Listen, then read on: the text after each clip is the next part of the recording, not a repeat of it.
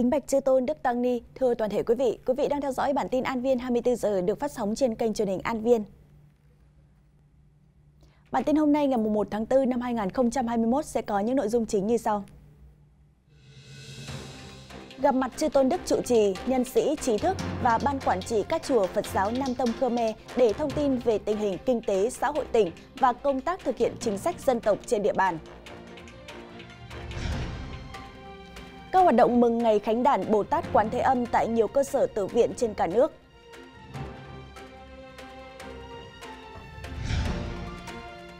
Cuộc thi làm phim về các di sản di tích lịch sử trên địa bàn thủ đô, cơ hội để thế hệ trẻ Hà Nội hiểu biết hơn về giá trị lịch sử, văn hóa của các di tích Phật giáo. Hôm qua ngày 31 tháng 3 tại Trung tâm Văn hóa Hội nghị tỉnh, tỉnh ủy, Ủy ban nhân dân tỉnh Sóc Trăng đã tổ chức buổi gặp mặt chư tôn đức trụ trì, nhân sĩ, trí thức và ban quản trị các chùa Phật giáo Nam Tông Khmer để thông tin về tình hình kinh tế xã hội tỉnh và công tác thực hiện chính sách dân tộc trên địa bàn. Tại buổi họp mặt, các đại biểu được thông tin khái quát về tình hình kinh tế xã hội địa phương trong năm 2020 và 3 tháng đầu năm 2021. Theo đó, kinh tế tỉnh tiếp tục có bước tăng trưởng, an ninh chính trị, trật tự an toàn xã hội được giữ vững, ổn định, sự đoàn kết dân tộc được tăng cường, các chính sách dân tộc tôn giáo được triển khai đầy đủ, các lễ hội văn hóa của đồng bào Khmer được bảo tồn và phát huy, đời sống vật chất tinh thần của bà con ngày càng được nâng lên, diện mạo nông thôn không ngừng được đổi mới. Trong những thành tựu chung đó có sự đóng góp rất quan trọng của hơn 1.900 vị chức sắc, 1.300 vị chức việc, và 362.000 Phật tử Nam Tông Khmer trên địa bàn tỉnh. Dịp này, ông Trần Văn Lâu, Chủ tịch Ủy ban Nhân dân tỉnh Sóc Trăng đã biểu dương những đóng góp quý báu của Chư Tôn Đức và mong muốn các tự viện Phật giáo Nam Tông Khmer tiếp tục vận động bà con đoàn kết, thi đua lao động sản xuất, góp phần xây dựng quê hương Sóc Trăng phát triển nhanh và bền vững. Từ nhiều năm nay, việc thuyết giảng do Ban Hoàng Pháp Giáo hội Phật giáo Việt Nam thành phố Hồ Chí Minh chủ trương được tổ chức duy trì đều đặn hàng tuần. Sau thời gian tạm dừng để cùng thực hiện phòng chống dịch COVID-19, nay các giảng đường đã trở lại bình thường. Thực hiện chỉ đạo của Ban trị sự Giáo hội Phật giáo Việt Nam thành phố Hồ Chí Minh về việc sinh hoạt tôn giáo bình thường, Ban Hoàng pháp Trung ương đã triển khai trở lại các hoạt động thuyết giảng tại các giảng đường khắp thành phố. Theo đó, chư Tôn Đức trụ trì các cơ sở tự viện trong thành phố, Phật tử các đạo tràng, các lớp giáo lý, lịch tu học bắt đầu sinh hoạt trở lại từ ngày 4 tháng 4 năm 2021. Song song với đó, các biện pháp phòng chống dịch COVID-19 vẫn phải đảm bảo thực hiện. Quý Phật tử đến dự phải kiểm tra nhiệt độ, rửa tay sát khuẩn, đeo khẩu trang và giữ khoảng cách an toàn. Chư Tôn Đức Giảng Sư sẽ thuyết giảng tại các đạo tràng, các lớp giáo lý theo lịch phân công hàng tuần của Ban Hoàng Pháp. Tiếp theo là công tác tổ chức Đại hội Phật giáo cấp huyện tại các tỉnh thành. Theo đó, tại tỉnh Bình Phước, Ban trị sự Giáo hội Phật giáo Việt Nam huyện Đồng Phú đã tổ chức Đại hội Phật giáo huyện nhiệm kỳ 6 2021-2026. Và tại tỉnh Đắk Nông, Ban trị sự Giáo hội Phật giáo Việt Nam huyện Đắk Lông đã chính thức được thành lập và ra mắt nhân sự. Đại hội đại biểu Phật giáo huyện Đồng Phú, tỉnh Bình Phước, nhiệm kỳ 6 2021-2026 diễn ra tại chùa Thanh Tâm, xã Tân Tiến, trong 5 năm qua, Phật giáo huyện đã có nhiều hoạt động nổi bật về ban tăng sự, giáo dục, văn hóa. Riêng công tác từ thiện xã hội huy động với số tiền gần 8 tỷ 500 triệu đồng. Hiện tại toàn huyện có 15 tự viện với 41 tăng ni tu học. Tại đại hội, toàn thể đại biểu thống nhất suy cử Ban trị sự Giáo hội Phật giáo huyện Đồng Phú nhiệm kỳ 2021-2026 gồm 17 thành viên. Ban trị sự Giáo hội Phật giáo Việt Nam và Ủy ban Nhân dân tỉnh Bình Phước trao tặng nhiều bằng tuyên dương công đức, bằng khen cho tập thể, cá nhân đóng góp tích cực cho nhiệm kỳ qua. Còn tại tỉnh Đắk Nông, Ban trị sự Giáo hội Phật giáo Việt Nam huyện Đắk Long đã nhận quyết định thành lập và chính thức ra mắt vào sáng nay ngày 1 tháng 4 tại chùa Biểu Lâm, xã Quảng Khê. Toàn huyện Đắk Long có 3 cơ sở từ viện hợp pháp với 6 tăng ni tu học. Phật sự chủ yếu tại đây là trùng kiến các cơ sở vật chất từ viện, các công tác từ thiện xã hội, nghi lễ và hướng dẫn tu tập đến bà con địa phương. Tại buổi lễ, 12 thành viên Tân ban trị sự Giáo hội Phật giáo Việt Nam huyện Đắk Long đã nhận nhiệm vụ và thông tin các chương trình Phật sự trọng tâm trong nhiệm kỳ 2021-2026. Nhân ngày vía Đức Bồ Tát Quan Âm, sáng hôm qua ngày 31 tháng 3 nhằm ngày 19 tháng 2 năm Tân Sửu, tại chùa Long Phước, thành phố Tân An, tỉnh Long An đã trang nghiêm diễn ra lễ đặt đá tiến hành xây dựng tượng Bồ Tát Quan Âm cao 70 mét. Nhận thấy ngôi chùa cổ Long Phước trên 200 năm lịch sử với vị trí có dòng sông Vàm Cỏ Tây uốn lượn tạo nên thắng cảnh phù hợp với việc an vị tôn tượng Bồ Tát Quán Thế Âm, nên Đại Đức Thích Lệ Trí, trụ trì chùa đã cùng Phật tử địa phương phát tâm xây dựng công trình cao 70 mét này. Dự kiến công trình sẽ được tiến hành xây dựng trong khoảng thời gian 36 tháng và chia làm 3 giai đoạn với tổng kinh phí trên 40 tỷ đồng. Dịp này, Hòa Thượng Thích Minh Thiện, Ủy viên Hội đồng trị sự, trưởng ban trị sự Giáo hội Phật giáo Việt Nam tỉnh Long An đã tán thán hạnh nguyện của Chùa Long Phước và mong toàn thể chư Tăng Ni Phật tử xa gần phát tâm, chung tay góp sức để tôn tượng sớm hoàn thành. Hôm qua ngày 19 tháng 2 âm lịch, nhiều tự viện trên cả nước cũng đã tổ chức các hoạt động tâm linh, văn hóa phong phú để kính mừng ngày đản sinh của Đức Bồ Tát Quán Thế Âm. Trong không khí thiêng liêng của ngày Bồ Tát Quán Thế Âm đản sinh, chùa Bái Đính tỉnh Ninh Bình tổ chức lễ quy y Tam Bảo cho hơn 200 thiện nam tín nữ. Tại đây, toàn thể Phật tử lắng nghe chư tăng hướng dẫn ý nghĩa của việc quay về nương tựa Tam Bảo và phát nguyện trở thành đệ tử tại gia của Đức Phật. Sau buổi lễ, Hòa thượng Thích Thanh Nhiễu, Phó Chủ tịch Thường trực Hội đồng Trị sự Giáo hội Phật giáo Việt Nam, trụ trì chùa Bái Đính đã trao chứng điệp quy y cho các Phật tử để có đầy đủ giấy tờ khai mục tôn giáo là Phật giáo khi làm căn cước công dân. Trong khi đó, cùng thời gian này, đông đảo Phật tử khắp nơi vân tập về chùa Cổ Am, tỉnh Nghệ An để tham dự lễ kính mừng ngày đàn sinh Bồ Tát Quan Thế Âm. Bên cạnh nghi thức tụng kinh, niệm danh hiệu Bồ Tát, toàn thể Phật tử đã phát nguyện lệnh 500 danh hiệu Quan Thế Âm để lan tỏa tấm lòng đại bi và sự cứu độ của Ngài, nguyện cầu cho quốc thái dân an, nhân dân ấm no, hạnh phúc. Còn tại chùa Hoa Nghiêm, huyện Đắc Mi, tỉnh Đắk Nông, không khí lễ hội Quán Thế Âm diễn ra trang nghiêm và ý nghĩa với đêm hòa đăng cúng dường. Dịp này, Đại Đức Thích Giác Nhường, Phó Thư ký Ban trị sự Giáo hội Phật giáo Việt Nam tỉnh Đắk Nông đã có thời pháp thoại đến đạo tràng Phật tử về hạnh nguyện của Bồ Tát Quán Thế Âm. Tối qua, Học viện Phật giáo Việt Nam tại Hà Nội đã kính mừng Khánh đàn Quán Thế Âm Bồ Tát và để học tập theo sự từ bi, cứu độ chúng sinh của Ngài, cũng như hưởng ứng lời kêu gọi trồng cây của Thủ tướng Nguyễn Xuân Phúc. Chư tôn Đức lãnh đạo học viện, quý Tăng Ni Sinh đã thực hiện trồng cây, phóng sinh trong khuôn viên trường. Tại buổi lễ, Hòa Thượng Thích Thanh Đạt, Chủ tịch Hội đồng Khoa học Học viện thuyết giảng về ý nghĩa của Ngày Quán Thế Âm Bồ Tát Đản Sinh. Với tâm từ bi, Bồ Tát đã giáo hóa chúng sinh trong mọi hoàn cảnh, nên hình ảnh của Ngài tượng trưng cho tâm từ, lắng nghe và cứu độ vạn vật chúng sinh. Kỷ niệm Ngày Đức Quán Thế Âm Bồ Tát đấy, đối với Học viện Phật giáo Việt Nam tại Hà Nội là để tăng ni Phật tử ôn lại sự tích công hạnh của Đức Bồ Tát Quán Thế Âm để nguyện học theo cái hạnh nguyện của Bồ Tát Quán Thế Âm. Tăng ni Phật tử ấy nguyện ở tất cả mọi vị trí khác nhau đều có thể thể hiện được cái tinh thần từ bi cứu khổ độ sinh, đóng góp cho cộng đồng và xã hội. Tôi cũng là một tăng ni sinh và cũng là đang là một sứ giả của Như Lai mà đang trên con đường tập tu này thì chúng tôi luôn luôn hướng về những cái ngày các vía đại Bồ Tát hướng đến mục tiêu đó là truyền hết những cái tâm tư những cái à, ý nghĩa mà giáo lý của Đức Phật đã truyền tải để cho các Phật tử hiểu biết hơn và thực hành những cái ý nghĩa này sâu xa hơn. Đây cũng là thời gian dịch bệnh COVID-19 từng bước được khống chế đẩy lùi. Đất nước bước vào giai đoạn bình thường mới, thực hiện mục tiêu kép phòng chống dịch bệnh và phát triển kinh tế. Vì vậy, hàng ngàn tăng ni sinh quý Phật tử đã nhất tâm cầu nguyện cho quốc thái dân an, dịch bệnh tiêu trừ, chúng sinh an lạc. Muốn tu tâm dưỡng tính theo đạo của mình tốt đấy thì trước tiên phải thực hiện những cái khuyến cáo của Bộ Y tế, giữ cái thân này để cho nó khỏe mạnh cái đã. Bởi vì thân khỏe thì tâm an. Cái thứ hai nữa đấy là thiết thực hơn đấy là chúng ta phải có những cái hoạt động thiết thực, nhiều cái việc thiện, nhiều cái việc làm ý nghĩa là tích cực hưởng ứng tham gia cái việc trồng cây gây rừng, ủng hộ cái việc phòng chống đại dịch, ủng hộ người nghèo vân vân. Đấy chính là cái việc làm thiết thực nhất của cái việc tức là kỷ niệm Đức Khánh Đản Quan Thế Âm Bồ Tát năm 2021 này. Trước đó vào chiều cùng ngày, nhằm gieo duyên lành kỷ niệm ngày Khánh Đản Bồ Tát Quan Âm cũng như hưởng ứng lời kêu gọi của Thủ tướng Chính phủ, Hội đồng điều hành học viện cùng chư tăng ni Phật tử đã phóng sinh và trồng hàng ngàn cây xanh, tạo nên ngày lễ Khánh Đản Bồ Tát Quan Thế Âm linh thiêng, thiết thực và vô cùng ý nghĩa.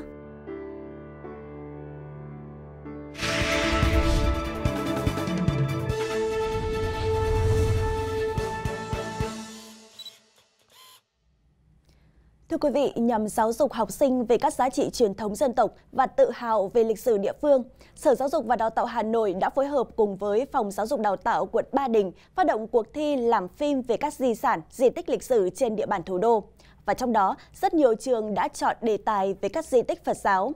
Đây chính là cơ hội để thế hệ trẻ thủ đô hiểu biết hơn về giá trị lịch sử, văn hóa của các di tích Phật giáo. Từ đó giúp các em thêm yêu lịch sử Việt Nam và biết trân trọng nhiều hơn nữa các giá trị văn hóa của dân tộc. Ngay sau khi Phòng Giáo dục và Đào tạo quận Ba Đình Hà Nội phát động cuộc thi dấu ấn Ba Đình nhằm tuyên truyền và nâng cao kỹ năng ứng dụng công nghệ thông tin trong dạy học, cô trò trường Trung học cơ sở Nguyễn Công Trứ rất hào hứng tham gia và lựa chọn di tích Phật giáo Chùa Hề Nhai hay còn gọi là Hồng Phúc Tự làm dấu ấn đặc biệt cho sự kiện này. Để giúp video hấp dẫn, truyền tải đầy đủ nội dung sâu sắc về Chùa Hề Nhai trong đời sống tâm linh con người nơi đây, các cô trò đã dành 15 ngày để nghiên cứu, lên ý tưởng và hoàn thiện sản phẩm. Việc đưa cái nội dung Phật giáo vào trong việc giáo dục học sinh ấy, thì sẽ giúp các em hiểu được cái giá trị cũng như là vai trò của Phật giáo trong cái lịch sử phát triển Việt Nam. Để từ đó mà các em có thể là hình thành được cái tư tưởng cũng như là tình cảm đạo đức. Ờ, nhất là trong việc hình thành cái nhân cách phát triển cho học sinh đặc biệt là à, cái sự hiếu thuận của các con đối với ông bà ờ, cha mẹ. À, hơn nữa đó là bồi đắp cho các em cái lòng nhân ái lòng vị tha tính trung thực lấy ý tưởng từ một em học sinh nước Ý mong muốn hiểu biết thêm về lịch sử văn hóa Việt Nam. Các em học sinh trường Nguyễn Công Trứ, quận Ba Đình đã có một buổi trải nghiệm vô cùng mới lạ. Các em trở nên tự tin giới thiệu cho bạn bè quốc tế về lịch sử văn hóa chùa Hòe Nhai, kiến trúc, di sản Phật giáo mang giá trị văn hóa lâu đời ở Hà Nội. Thông qua video, các em đã giới thiệu đầy đủ những nét độc đáo của chùa Hòe Nhai và văn hóa tâm linh con người thủ đô xây dựng video này đã làm theo hai ngôn ngữ đó chính là cả tiếng Anh và tiếng Việt để giúp cho các con học sinh hoặc đặc biệt là với những cái người những lứa trẻ xa quê các con không có điều kiện để tìm hiểu trực tiếp có thể tham khảo và thông qua video đó các con hiểu thêm về lịch sử và thêm yêu tự hào về quê hương. Sự tâm huyết tỉ mỉ trong từng câu chữ thể hiện rõ tinh thần ham học, khả năng tìm tòi, khám phá về lịch sử của các em học sinh. Việc tự trải nghiệm các di tích Phật giáo cũng là một phương pháp rất hay để kích thích tinh thần học tập, giúp các em có thể ghi nhớ sự kiện lịch sử nhanh hơn việc mà đi khám phá và trải nghiệm những cái di tích lịch sử Phật giáo thì con cảm giác là con được hiểu rộng hơn về những cái di tích lịch sử Phật giáo và con có cảm giác là con nhớ được nhiều hơn về những cái dấu mốc lịch sử trong quá khứ và được tìm hiểu thêm về cái cuộc sống của người dân trong thời xưa. Ấy. Đối với bản thân con rằng là khi nghiên cứu những di tích Phật giáo ấy, con có thể thêm nhiều kiến thức và hiểu biết về những gọi là văn hóa lịch sử tôn giáo của nước ta cũng như là những công trình kiến trúc đã được dựng lên từ thời xa xưa. Trải qua hàng trăm năm được nhân dân tu tạo và gìn giữ thì tới nay ngôi chùa vẫn giữ được nét cổ kính của mình và ngôi chùa chính là một nơi để sinh hoạt văn hóa tâm linh đối với dân làng Kim Mã nói riêng và nhân dân Hà Nội nói chung. Giảng dạy môn lịch sử gắn liền với di sản văn hóa Phật giáo đã được triển khai từ lâu trong trường Trung học cơ sở Nguyễn Trãi, quận Ba Đình. Thông qua việc dạy học bằng video hay những buổi trải nghiệm thực tế tại di tích Phật giáo đã giúp các em hình thành ý thức tôn trọng, giữ gìn, phát huy giá trị của di sản. Bên cạnh đó, đây là cơ hội bồi đắp tình yêu quê hương, tâm hiếu đạo cho thế hệ học sinh tìm hiểu về môi chùa giúp cho các con ờ, có một cái ờ, về cái lòng hướng thiện và các con ờ, có một trong mỗi một hoạt động trong mỗi một uh, suy nghĩ của các con đều hướng tới cái uh, hướng thiện của Phật giáo đã dạy các con và các con cũng đã có một cái nhìn nhận rất là đúng trong quá trình học các chủ đề về di tích Phật giáo kết hợp với công nghệ hiện đại được giáo viên xây dựng đa dạng, phát huy hiệu quả, giúp học sinh trường Trung học cơ sở Nguyễn Trãi có những trải nghiệm phong phú và hấp dẫn. Các em được tìm hiểu, tự cảm nhận thực tế, tăng khả năng tiếp thu kiến thức của mình. Bản thân con cảm thấy là sau khi được tham gia cái ờ, đóng, đóng góp vào cái video đấy thì uh, cảm con cảm thấy rất là tự hào cũng như là uh, cảm thấy rất là hào hức như là một uh, người sẽ giúp cho các bạn học sử trở nên uh, dễ dàng hơn và qua đó thì à, bản thân con cũng được tiếp thu nhiều kiến thức hơn không chỉ về lịch sử Việt Nam mà còn là về các tín ngưỡng tôn giáo. Có thể thấy rõ, việc đổi mới phương pháp dạy, tổ chức thêm nhiều hoạt động giáo dục trải nghiệm về di sản, trong đó có những di tích Phật giáo đã nhận được phản ứng tích cực, thu hút nhiều học sinh tham gia. Nhằm góp phần nâng cao tính hấp dẫn cho môn lịch sử, thời gian tới, quận Ba Đình tiếp tục phối hợp với các trường học trên địa bàn, mở rộng quy mô, giúp học sinh khám phá nhiều hơn nữa các giai đoạn lịch sử và không gian văn hóa của Hà Nội nói riêng và cả nước nói chung. Tất cả các tác phẩm này được đầu tư rất là bài bản, công phu và đã được uh, nghiên cứu cũng như là đến thực địa tất cả các cái địa bàn trên địa bàn quận. Và chúng tôi cũng xác định là sắp tới thì 31 tác phẩm này cũng sẽ được là sử dụng khai thác làm tư liệu trong các trường học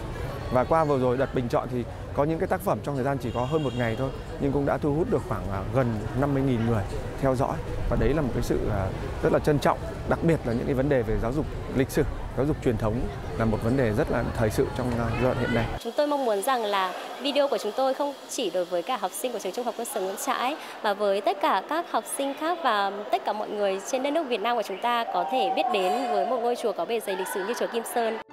Giáo dục Phật giáo là giáo dục lối sống lành mạnh, tích cực cho giới trẻ. Việc tìm hiểu, tham quan, trải nghiệm các di tích Phật giáo phần nào cũng đã giúp cho việc học môn lịch sử không còn khô khan, tạo sự hấp dẫn đối với các em học sinh. Qua đó giúp các em yêu thích môn lịch sử, hiểu hơn truyền thống di sản văn hóa quê hương và biết trân trọng giá trị đời sống tâm linh cũng như sống có trách nhiệm hơn với xã hội. Hình ảnh những bạn thanh thiếu niên thủ đô tự hào quảng bá di sản Phật giáo trên đất Thăng Long quả thật rất nhân văn và giàu sức lan tỏa. Bên cạnh những clip đầu tư công phu để giúp công chúng có thể hiểu hơn về di sản, thì các bạn trẻ thủ đô còn thể hiện tinh thần sáng tạo không mệt mỏi khi chủ động triển khai lắp đặt và vận hành điểm quét mã QR code tại các di tích để quảng bá du lịch đất Hà Thành. Một buổi sáng thường ngày tại chùa Trần Quốc, Hà Nội, nhiều du khách đã đến chiêm bái lễ Phật vãn cảnh chùa. Với anh Phạm Trung Thành, việc đến chùa không chỉ để cầu an cho mình và gia đình, anh cũng muốn tìm hiểu thêm về các di tích Phật giáo, nơi gắn liền với chiều dài lịch sử của đất nước Việt Nam. Nhưng với một người trẻ như anh, việc tìm hiểu tường tận các di tích lịch sử lâu đời không phải là điều dễ dàng.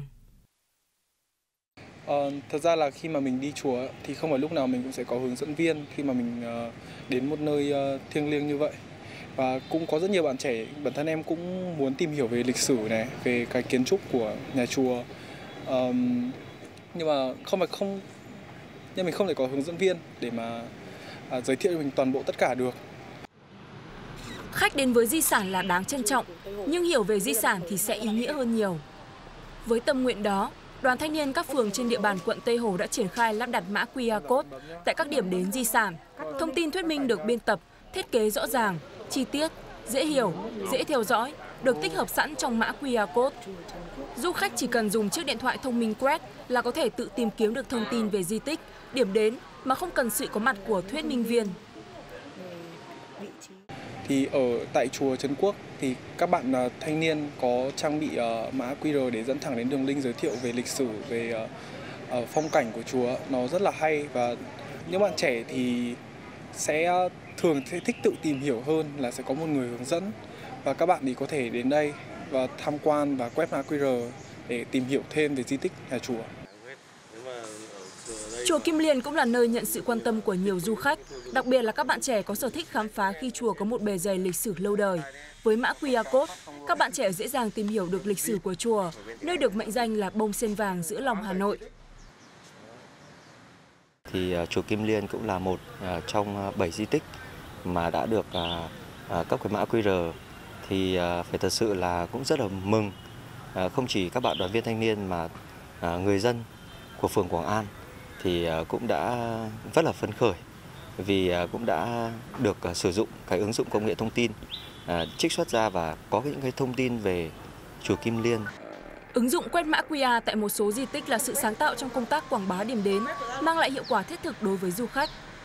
Đây là mô hình ứng dụng công nghệ thông tin trong tuyên truyền quảng bá du lịch Tây Hồ, được anh Bùi Thế Cường, bí thư quận đoàn Tây Hồ cùng tập thể ban chấp hành quận đoàn triển khai trên địa bàn quận.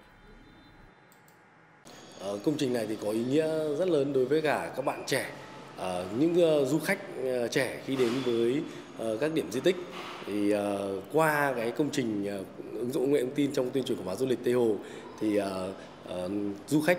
cũng như là khách du lịch uh, nhân dân và đặc biệt là đoàn viên thanh niên khi đến với cái điểm di tích thì chỉ cần dùng cái thiết bị thông minh uh, quét mã QR code thì có thể tìm hiểu toàn bộ thông tin liên quan đến điểm di tích uh, mà không cần phải hướng dẫn viên du lịch. Công trình được thực hiện bài bản với 3 giai đoạn. Bước đầu, quận đoàn triển khai đến các cơ sở đoàn khối phường tiến hành khảo sát, thu thập thông tin, phối hợp với cán bộ văn hóa thông tin phường biên soạn nội dung, số hóa dữ liệu thông tin về các khu di tích. Tiếp đến là đăng tải bài giới thiệu về các di tích lên trang, di tích lịch sử văn hóa trên cổng thông tin điện tử quận Tây Hồ. Giai đoạn cuối cùng là cấp, duy trì, bảo mật cho mã QR code của khu di tích. Tuy vậy, trong quá trình thực hiện dự án, anh Cường cũng gặp rất nhiều khó khăn. Trong quá trình triển khai thực hiện ờ, công trình thì ờ, chúng tôi gặp ờ, khó khăn lớn nhất đó chính là cái việc mà thu thập dữ liệu, tư liệu, tài liệu liên quan đến di tích cũng như là thu thập hình ảnh từ những cái dữ liệu đó mà chúng tôi thu thập được thì à, đoàn nhân quận chúng tôi tiến hành số hóa à, di tích trên à, cổng thông tin điện tử của quận Tây Hồ thì đây là một cái quá trình mà cũng mất khá nhiều thời gian và đòi hỏi công sức của đoàn viên thanh niên nhưng mà bằng sức trẻ và tinh thần tình nguyện của thanh niên thì chúng tôi cũng đã triển khai thực hiện đảm bảo cái tiến độ đề ra. Với công trình ứng dụng công nghệ thông tin trong tuyên truyền quảng bá du lịch Tây Hồ, anh Cường cũng như rất nhiều bạn trẻ thủ đô khác đã mang đến trải nghiệm mới cho khách du lịch khi hành hương lễ Phật, tìm hiểu về di sản văn hóa của đất Thăng Long nghìn năm văn hiến. Nội dung tiếp theo của chương trình tìm hiểu lễ hội hết trá của đồng bào dân tộc Thái ở Mộc Châu, Sơn La. Chiêm ngưỡng những tác phẩm điêu khắc gỗ của nghệ nhân làng Mộc Định Quán.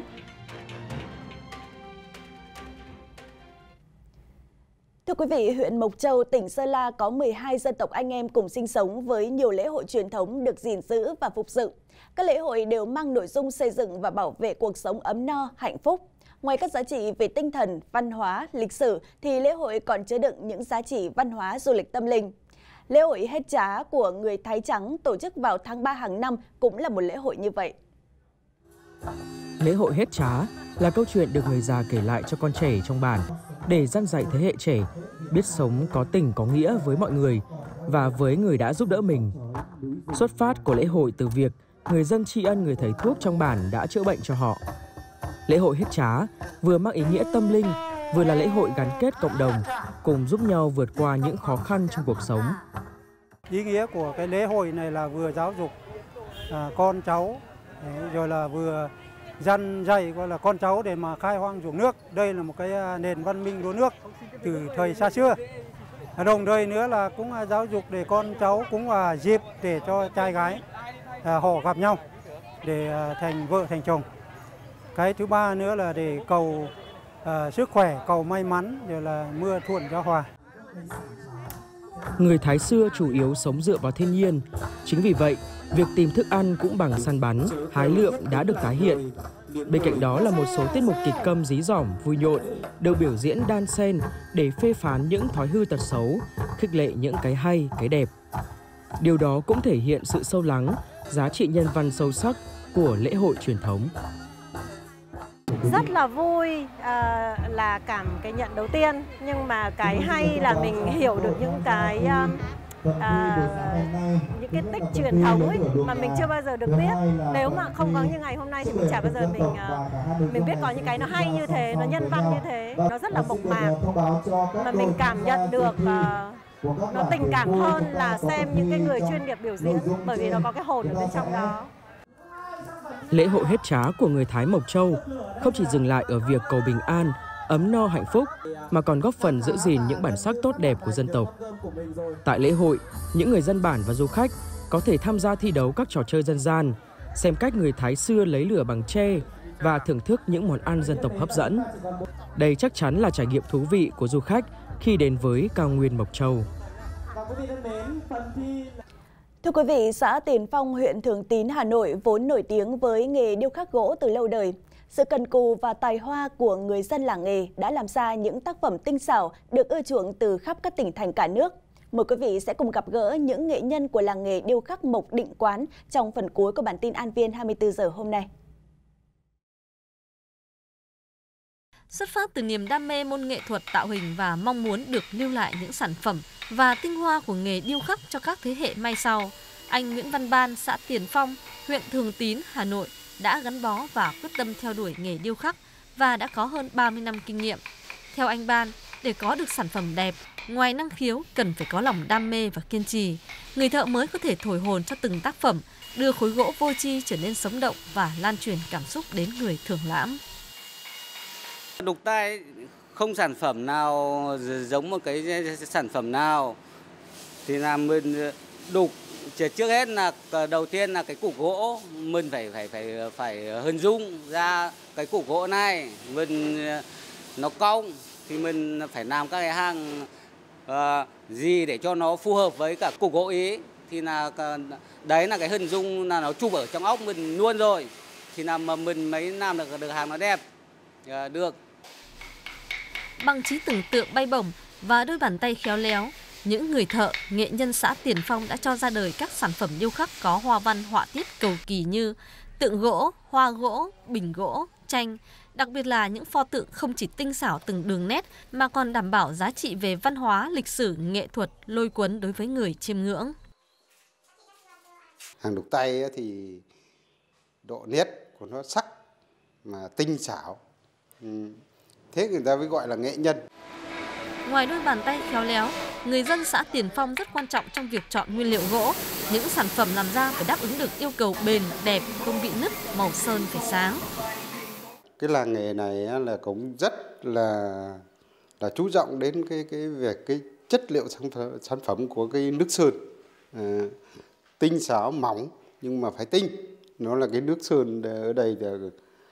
thợ cũng cũng cũng chọn lắm Ngày nay, nghề điêu khắc gỗ không chỉ dừng lại ở bàn tay mà đã có thêm sự hỗ trợ của máy móc. Tuy nhiên, các sản phẩm độc bản được làm bằng đôi bàn tay khéo léo của người nghệ nhân thì vẫn luôn có giá trị riêng, không thể thay thế. Không chỉ yêu thích vẻ đẹp của những sản phẩm điêu khắc tinh xảo, nhiều người còn tin rằng các mẫu điêu khắc đẹp có tác dụng thu hút tài lộc may mắn, mang đến sự thuận lợi trong sự nghiệp học tập của các thành viên trong gia đình. Những hình ảnh vừa rồi cũng đã khép lại bản tin An Viên 24 giờ ngày hôm nay. Cảm ơn quý vị khán giả đã quan tâm theo dõi. Cảm ơn thương hiệu Taco đã đồng hành cùng chương trình. Xin kính chào tạm biệt và hẹn gặp lại.